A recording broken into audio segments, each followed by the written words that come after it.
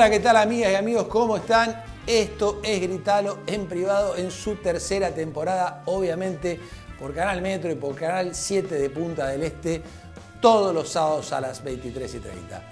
Hoy tenemos un invitado de lujo, ¿eh? no te lo podés perder, conductor de Telenoche, un gran periodista político.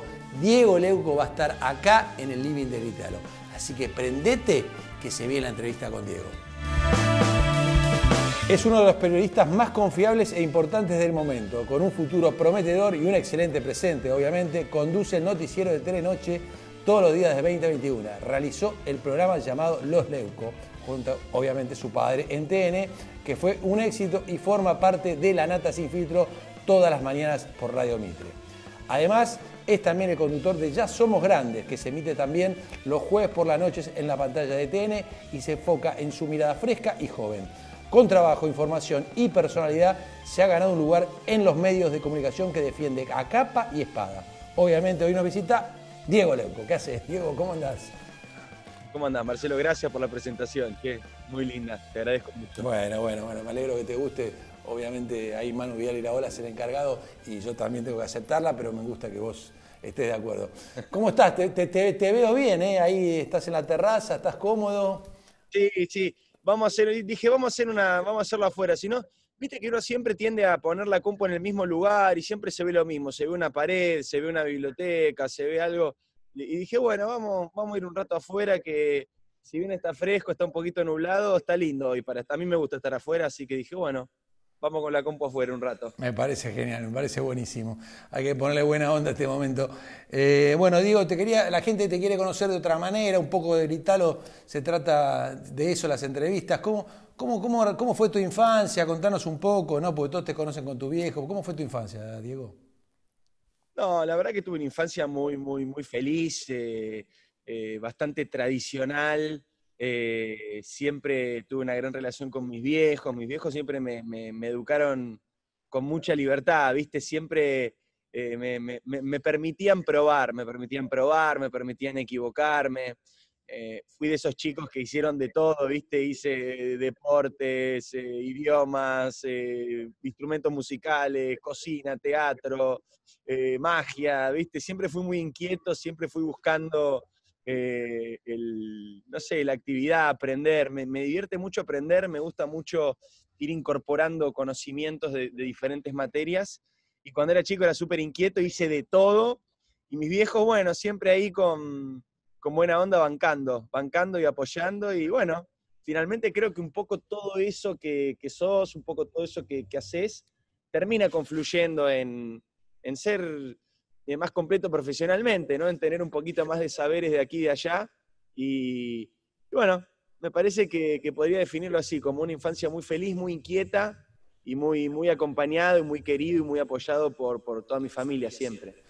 Muy lindo lo que decís, porque aparte, viste, ahora es como que eh, los chicos, eh, trabajar con los padres, viste, siempre es complicado y yo creo que vos abriste ahí una, una ventana, ¿no? Trabajando, trabajando con tu viejo, haciendo un programa, después haciendo los leucos, ¿no? Eh, pero ¿cómo, arrancaste con el periodismo y después te juntaste con tu viejo?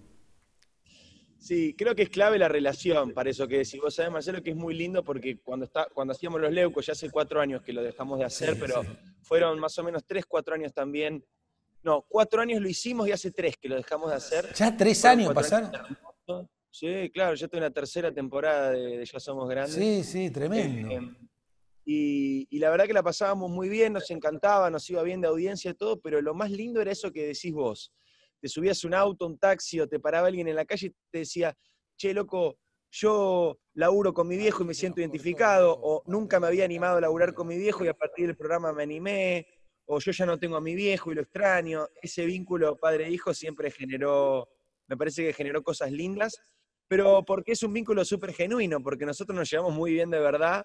Él es muy generoso conmigo, él, él es el que me, me incorporó a su programa, ¿no? No todos los padres son capaces de hacer algo así, y después también él fue el que me dijo que, que ya era hora de que volara solo y de que tuviera mi propio programa. Pero yo arranqué en el periodismo, qué sé yo, te puedo marcar así como algunos momentos, pero con el padre que tengo, un apasionado por el laburo, un tipo que no, no frena un minuto, un referente en esto, yo siempre digo que o amaba el periodismo o lo odiaba. No, me parece que no había punto medio, ¿viste? Y lo terminé amando, lo terminé abrazando. Eh, en el último año del secundario tuve una, una, pequeña confusión. Yo siempre había dicho que quería ser. En realidad, yo decía que quería ser relator de fútbol. Mirá. A mí me gustaba mucho como Ale Fantino seguía la campaña de Boca en Radio Mitre. Y, yo decía, yo quiero ser relator de fútbol como Alefantini, mi hijo me llevaba a la cancha, íbamos a la cabina de Mitre en aquel momento, yo decía, sueño con laburar en Mitre, bueno, finalmente se cumplió. Y, después más de grande me empezó a gustar la política y dije, bueno, voy para el lado del periodismo. Pero en el último año del secundario me pasó algo re loco, que es que tuve, tenía muchos amigos que estaban por estudiar cine y me anoté en cine, no en periodismo. Y ese verano me fui de vacaciones a Mar del Plata y cuando volví le dije a mis viejos, che, todo bien, pero en el verano no, no vi ni una película y leí los diarios todos los días. Así que evidentemente estoy confundido de carrera, me quiero cambiar, hice mal. Yo estaba re angustiado porque me había anotado en otro lado y mis hijos me dijeron, todo bien, siempre hay tiempo para, para decidir. Y bueno, ahí fue cuando tomé la decisión, después fueron unos años de facultad cortitos porque al toque empecé a laburar, empecé a laburar muy, muy chico. Y bueno, y de ahí un laburo llevó al otro y bueno, estamos en este bolón en el que estamos ahora. No, tremendo, sí, porque estás ahí en, el, lugar top, ¿no? Conduciendo el noticiero de Canal 13, que tanto se ve, no solo en la Argentina, sino por todos lados. Y bueno, y ahora por suerte acá TN se, volvió a ver también en Uruguay, que, lo estábamos extrañando ha vuelto justo esta semana, así que podemos estar informados. la verdad que sabemos, estamos contentos con eso, porque sabemos que en Uruguay se ve mucho TN, mucho, mucho, y, estamos contentos con eso, y aprovecho también para mandar un saludo ahí a toda la gente de Uruguay que, son siempre eh, me tratan muy bien, siempre me hacen saber que nos miran mucho allá en Uruguay, así que bueno, apenas me dijeron que salía para Uruguay, dije obviamente que sí. Eh, no doy muchas notas, pero bueno, para Uruguay sí. Así que. Bueno, ves, algo. bueno, aparte, aparte de todos los amigos que tengo acá en Uruguay, una de las cosas buenas es esa. Eh, que, la gente de Uruguay nos mira y, bueno, estamos, estamos, somos, somos, somos más que primos hermanos con los uruguayos, pero lo que pasa es que ellos son respetuosos, prolijos, ¿no? Eh, responsables socialmente. Están, sana, envidia, sana envidia para el pueblo uruguayo, sana envidia. Sana envidia, bueno. Eh, pero complicado, Diego, porque me estás diciendo, pero conducir el noticiero, ¿no? Un, un noticiero, ¿no? Más en este momento ahora, eh, te, gusta hacerlo? es mucha exigencia, ¿no? Es, es, mucho estrés, porque yo me acuerdo programas diarios, en vivo, ¿no? ¿Cómo, lo manejas vos? Sí, la tele diaria es brava. Eh, hay mucha gente que lo subestima. ¿viste? Dice, bueno, un programa todos los días, un programa de televisión todos los días es muy difícil, muy difícil, Marcelo. Eh, yo tuve una escuela inmejorable que fue el diario de Mariana. Primero por ella, por Mariana, que es lo máximo, fue muy generosa, yo aprendí mucho de ella. Pero también aprendí eso, aprendí lo difícil, lo complicado, lo, fuerte que tenés que estar de voluntad para hacer un programa todos los días todos los días distinto, todos los días buena onda, todos los días arriba, todos los días con energía, todos los días, todos los días, todos los días, no se puede faltar nunca, no hay feriados, no hay días lindos, no hay días feos. La tele tiene eso, pero también eso es lo, que tiene de lindo, lo que tiene de excitante, lo que tiene de, enriquecedor, lo que tiene de desafío. Y a mí me encanta, yo, yo soy feliz en un estudio de radio, en un estudio de televisión, es mi, es mi lugar en el mundo, es donde quiero estar, es donde la paso bien, es donde me divierto. Así que por suerte tengo esa relación con mi laburo, que es una relación de mucho disfrute, es una relación muy lúdica, muy del juego en el buen sentido.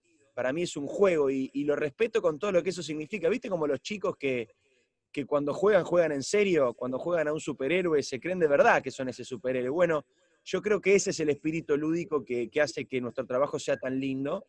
Y con lo del juego no le quito responsabilidad, todo lo contrario, ¿no? Eh, cuando uno hace algo porque lo hace feliz, lo hace con más responsabilidad porque no lo quiere perder nunca. Y para mí, y para mí es muy importante mi laburo, y por supuesto que es eh, un estrés, es radio todos los días y tele todos los días, y hoy jueves eh, que estamos charlando, eh, tengo el programa a la noche también, y son muchas horas de aire y muchas ventanas, mucho, mucho riesgo, y mientras más horas estás al aire, más abrís la ventana, pero bueno, es lo que me gusta hacer, ¿viste? Y es como un jugador de fútbol o como un jugador del NBA que juega cada dos días, y sí, se cansa, ¿viste? Pero también es lo que te gusta. Y cuando no estás jugando, cuando no estás al aire, eh, se extraña. Así que por suerte la llevo bien y con mucho orgullo, mucho orgullo, Telenoche es, eh, es un programa que tiene 60 años de historia. Que solamente tuvo tres conductores antes que yo, ¿viste? Que estuvo Percivale, estuvo César Massetti y estuvo Santo Biasati. Y es un lugar que, viste, hay que honrar y hay que, hay que estar ahí y hay que laburar y hay que ponerle el pecho y estar a la altura y, trato de estar a la altura todos los días. No, no, espectacular. Te, felicito, la verdad. Haces una, dupla con, con, María Laura espectacular y se, nota lo que estás contando vos, se nota, se nota al aire y eso, eso es bueno para la gente, lo que transmitís en, el Telenoche. No, totalmente. Bueno, eh, esta semana, bueno, ha pasado de todos estos meses, ¿no? La famosa cuarentena más larga del mundo, es, es algo impresionante. Eh, pero te quiero meter un poquito en el fútbol, ¿no? Obviamente, después lo vas a ver cuando veas ahí, tengo acá, tengo acá una gallina que no tiene nada que ver con nada, pero, pero bueno. Ya sé, ya sé de qué cuadro Fue lo primero que le dije a, cuando me escribieron, me, dice, ¿lo conoces a Marcelo? Y yo, sí, el de River, ¿cómo, ¿cómo no lo voy a conocer? Por supuesto. No me dejan mentir, la, producción no me deja mentir. No, totalmente, totalmente. Bueno, bueno, vos estás del otro lado de la vereda, ¿cómo, cómo ves ahora la vuelta al fútbol? No, bueno, esta semana lo que pasó con Boca, ¿cómo, qué, lo que, cuál, es tu opinión? Y la verdad que siento que todas las cosas que, que, se frenaron con esto, el deporte y los espectáculos masivos son claramente lo más difícil, ¿no? Eh, me parece que el único equipo, el único, perdón, el único deporte que lo resolvió bien, por suerte para mí, porque soy mega fanático, es la NBA, ¿no? La NBA, pero por supuesto, tiene todos los recursos del mundo, tiene un lugar para hacerlo, tiene los equipos para hacerlo, es una sola liga, eh, todos los equipos son del mismo país menos uno, eh, digo, tienen todas las condiciones dadas para hacerlo de la burbuja y funciona perfecto y lo han logrado y tienen la eficiencia que tienen los norteamericanos para hacer ese tipo de cosas. Me parece que la idea de la burbuja es la mejor, más allá de que Boca tuvo mucha mala suerte y le pasó justo, justo lo peor que te puede pasar, porque la burbuja cuando no hay ningún contagio es fantástica, es un escudo de protección maravilloso. Ahora, cuando hay un solo contagio que no lograste detectar, vaya uno a saber por qué, bueno, te pasa lo que pasó, tenés 19 contagios, tenés problemas. En lugar de armar una burbuja, armaste lo que se conoce en, infectología como un clúster, un lugar cerrado donde está todo el mundo contagiado. Mala suerte, eh, no sé si tendrá esto alguna consecuencia deportiva, me imagino que puede ser que no llegue al primer partido de Copa. Digo, yo soy fanático de Boca, pero me parece que en este caso hay que priorizar la salud de los jugadores. Por suerte los jugadores de fútbol son toda gente joven, entrenada, atlética, eh, que van a poder pasar la enfermedad, uno espera y entiende con, con relativa calma, pero bueno, eh, es, un proceso en el que estamos metidos todos y nadie tiene del todo la respuesta. Y bueno, le tocó a Boca y espero que sea rápido. Espero que sea rápido, que en siete días ya los resultados, los, nuevos testeos empiecen a dar negativo y puedan, puedan empezar a entrenar. No va a ser lo ideal porque los tiempos de entrenamiento ideales no, ya sabemos que no van a dar. Pero bueno, empezar de a poco, qué sé yo. No, no, está complicado, pero, pero bueno. opciones.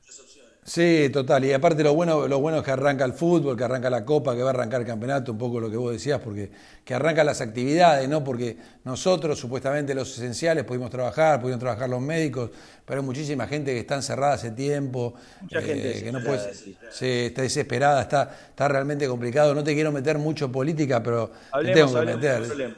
Hablemos, hablemos. Bueno, te quería, te quería preguntar, bueno, cómo ¿Cómo ves eh, esta semana una nota con el presidente justamente en tu canal, en TN, bueno, en donde vos trabajás? ¿Cómo, cómo, cómo lo ves, Alberto Fernández, vos?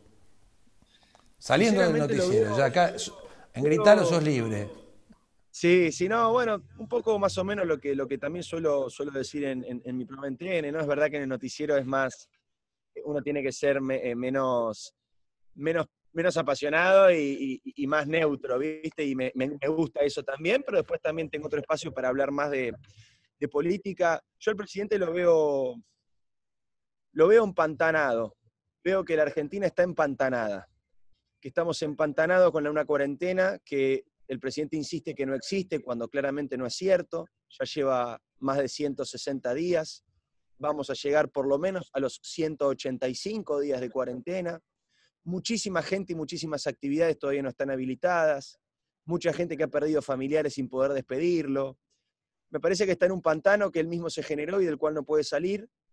Me parece que la economía está en un pantano que ya venía muy mal producto del gobierno de Macri, pero que el gobierno se encargó de empeorar, producto también de la cuarentena sin límites. Me parece que hay un pantano político también en el cual el Congreso argentino está prácticamente paralizado, producto de los caprichos de Cristina. Y un pantano político para el gobierno porque está plagado de internas, Marcelo, plagado de internas. Tiene internas con respecto a la seguridad, internas con respecto a la economía, internas con respecto a la toma de tierras, otro, otro flagelo que estamos viviendo en esta semana, eh, internas con respecto a qué hacer con la justicia. Realmente me parece que la situación está complicada, que la pandemia ha complicado a todos los países del mundo, pero que en la Argentina, como la pandemia se cruzó con la política y el gobierno reaccionó como suelen reaccionar los gobiernos kirchneristas, este es el cuarto gobierno kirchnerista, yo no encuentro ninguna sorpresa, no encuentro nada distinto en este gobierno que en los tres anteriores.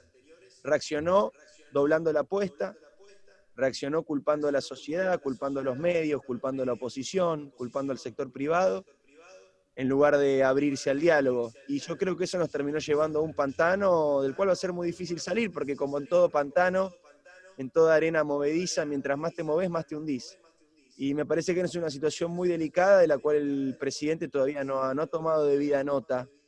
Me parece que sigue subestimando la situación y sobreestimando su capacidad para resolverla. No, no, tremendo, no, te digo la verdad, eh, coincido mucho en lo que vos decís y aparte, escuchándolo eh, este, durante esta semana, es como me hizo sentir la sensación, no sé si te pasó vos, de huérfano, porque el presidente para, todo, para todos los, ciudadanos del planeta, el presidente es como el que te orienta, el que te lleva adelante, más allá si estás a favor o en contra, ganaste o perdiste la elección o lo votaste, pero desconocer un montón de cosas, eh, es como decís, Dios mío, ¿hacia dónde vamos? ¿no? Porque, eh, pero bueno, es una sensación que me... Coincido, coincido con esto que decís. Mira, te doy un ejemplo. Eh, justamente lo que vos decís, ¿no? El presidente como, como ejemplo del resto. El presidente en la nota en TN que vos estás mencionando reconoció que invitó a comer el domingo al mediodía a la familia Moyano. Y dijo, cometí un error, no soy un buen ejemplo. ¿Sabe qué pasa? ¿O sabés qué pasa, Marcelo? que en la Argentina lo que hizo el presidente con Moyano es una reunión social. Y en la Argentina las reuniones sociales están prohibidas con pena de prisión con un decreto que firmó el mismísimo Alberto Fernández. Entonces, no es solamente un mal ejemplo lo que hizo ayer. Lo que hizo ayer fue ponerse por encima del resto, fue no respetar las reglas que nos pide a todos que respetemos. Entonces yo siento que la situación está, está muy delicada. La verdad que me da tristeza, me da impotencia, siento que es muy difícil salir y siento que seguimos repitiendo los mismos errores de siempre. Sí, es, así. Y mira, yo lo decía otra vez en, otra entrevista y a otro colega nuestro, es como que pensamos que se puede salir los argentinos, pero en algún momento, por ahí, no sé, eh, tocamos fondo y, no se sale de esta, pero bueno, hay que tener fe, ¿no? En, Hasta ahora siempre salimos, hay que pensar que, vamos a seguir saliendo. Pero bueno, yo creo también, no sé qué opinás vos, porque vos que estás permanentemente ahí en los medios, ¿no? Que lo que se está viendo ahora, un poco la pandemia, eso sirvió para que veamos lo que está pasando en Argentina, lo que pasa en el conurbano, lo que pasa en el interior. No, porque antes te hablaban de la pobreza y, viste, eh, salvo los que realmente eran pobres y lo vivían, los demás no lo veíamos. Ahora, ahora realmente vemos lo que está pasando.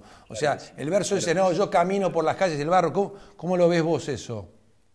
Es tal cual, es tal cual. La pandemia lo que generó fue que le, le llevó a la superficie a todos los países los problemas reales que tenían. Y ha quedado demostrado que de todos los países que han sufrido la pandemia, somos uno de los que más problemas tienen y tenían. Y en la resolución de la cuarentena siento que algunos porque no quedó otra y otros por capricho, por tosudez, esos problemas que la Argentina tenía los hemos profundizado y profundizado a un nivel que todavía no tenemos conciencia de lo, de lo lejos que se ha llegado en esa profundización. Algunos son políticos, otros son sociales, otros son económicos. Algunos, como te digo, no había otra alternativa, iba a pasar, porque contra la pandemia todos perdieron. Sí. Pero hay otros que, que lo generaron innecesariamente, innecesariamente por no querer escuchar, por creerse que se la saben a todas, por creerse que son los dueños de la verdad, por creer que los que están enfrente como nos dijeron o como dicen, son la muerte y ellos son la vida. Vos no podés plantear una discusión política en términos de ustedes son la muerte y nosotros la vida. No es así, no es así. Y menos cuando la muerte está cerca. Menos cuando la muerte está cerca y menos aún cuando nadie tiene la respuesta, cuando nadie sabe cuál es la respuesta correcta. Ese es el momento de dialogar, de ser humilde, de escuchar. Pero bueno, no pasó, pasó lo contrario y así estamos. Con la cuarentena más larga del mundo y con el presidente y los, gobernadores y los intendentes muy nerviosos porque parece que no estamos ni cerca de lo peor todavía. No, es, es verdad lo que Bueno, es verdad. Es verdad, bueno, se pasó volando la entrevista. Eh, te agradezco muchísimo que me la hayas dado. La gente de Uruguay te va a ver mucho también, más allá que te ve todos los días, obviamente. Eh, dos cortitas te quería hacer. Una, bueno, ¿qué, pasó? ¿Qué, qué, opinás de la oposición de Macri, lo que hizo Macri? Y a ver esa, decime, contestame un poquito esa, Dieguito. Yo creo que Macri, Macri no es hoy por hoy el líder de la oposición, producto de que él mismo se ha corrido de ese lugar. Me parece que Macri no debería ser el líder de la oposición. Me parece que hay otras personas que están más preparadas, que hay otras personas que no cargan con ciertos traumas que, hubo en su gestión. Me parece que si Macri quiere aportar a una, a una oposición que sea competitiva electoralmente el año que viene y luego en las presidenciales, tiene que correrse el lugar de liderazgo y ser uno más, ser un par, eh, aportar, por supuesto, como aporta cualquier expresidente de la nación a un espacio político, pero correrse del lugar principal. Hay muchos en Cambiemos que coinciden con esto que yo pienso, hay muchos que no.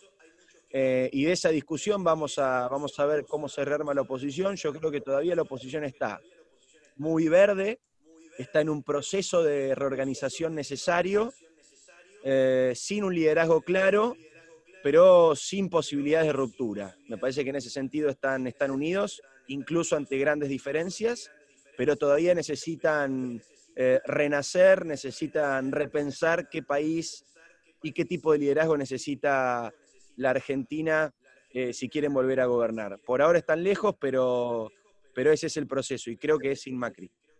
Bueno, te mando un abrazo grande, Diego. Espero vernos en la Copa Libertadores nuevamente. Yo también, yo también espero, yo también. Marce, gracias. te, voy a mostrar, te la voy a... Ahí está. está muy bien, está muy bien muy bien, me parece bárbaro. Nada, gracias por la invitación, un abrazo a vos, la producción, la verdad que tenés eh, muy, muy buena onda, muy amable. Eh, me, han, me, han, me, han, dicho de hablar con vos, le dije que sí. Por supuesto, un saludo a toda la gente de Uruguay, que como te decía antes, los, los, quiero mucho, me siento querido en Uruguay, me da, me da orgullo, me pasan cosas lindas cuando me siento querido en Uruguay. Eh, así que quería participar, quería ser parte del programa y mandarles un beso a todos. Dale, buenísimo, Diego. Te agradezco mucho y cuando vengas por acá, obviamente nos jugamos un partido de fútbol. Así que, chao, chao. Bueno, seguí así, ¿eh? Vamos. Gracias. Saluda a tu viejo y a todos. Dale, chao, chao, chao. Bueno, espero nos hayan disfrutado la entrevista que hicimos con Diego Leuco de los estudios acá de Uruguay, de Inhouse. Estamos felices y contentos. Nos vamos a ir, obviamente, con Gritalo en la sala, porque ahora viene prendido a nosotros, viene Gritalo en la sala. Pero antes de eso te quería comentar algo. En estos momentos de pandemia, de cuarentena tan complicados, hay gente que está haciendo un esfuerzo impresionante. Hay gente que no está casada, que sí está enamorada, que tiene novio, que tiene eh, gente que quiere mucho en otros países en los cuales no se puede unir. Agustín está tratando de unificar a esas personas que están del otro lado del continente o están del otro lado de la frontera y se quieren juntar con sus amores en Argentina.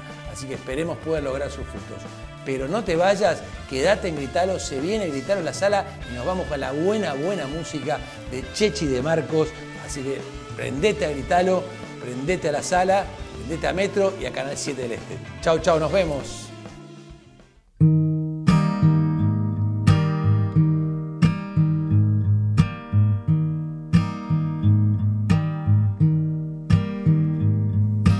que te hizo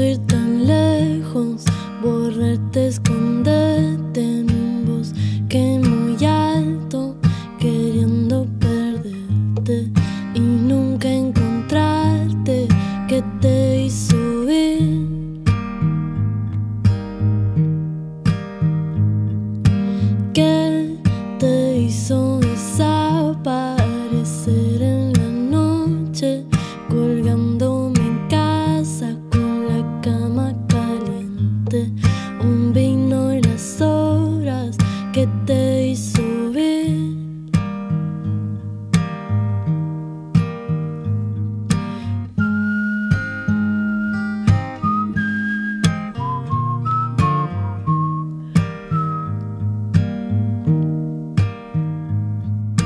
que te hicieron